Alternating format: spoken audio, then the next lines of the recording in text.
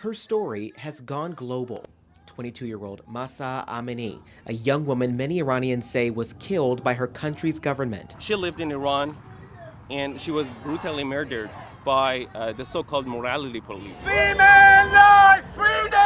The circumstances of her death sparking outrage across the globe and right here at home as local Iranians gathered at the corner of 72nd and Dodge. Justice can't wait! Demanding equality. We are in, a, in an era living that we are trying to recognize women's rights. Iranians say the morality police are known for enforcing strict Islamic rules.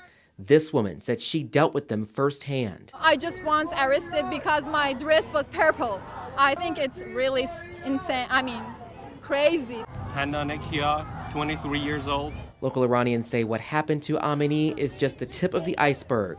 They say protests in their country for many have been a death sentence. I know about uh, 100 people have been killed in Iran in the protests by live ammunitions. They've been beaten to death.